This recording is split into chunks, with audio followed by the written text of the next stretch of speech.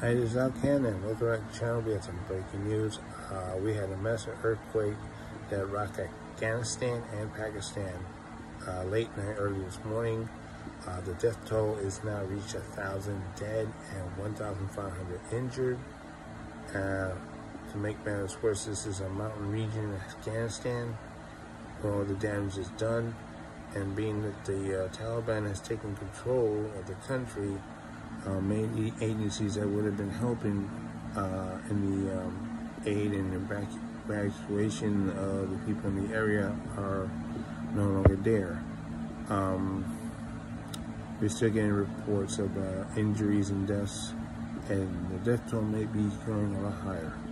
So once again, we had a magnitude 5.9 to a 6.2 earthquake, depending on which part of the area felt it that occurred last night early this morning. Death tolls over a thousand and uh, injuries over 1,500. And we expect the numbers to go even higher.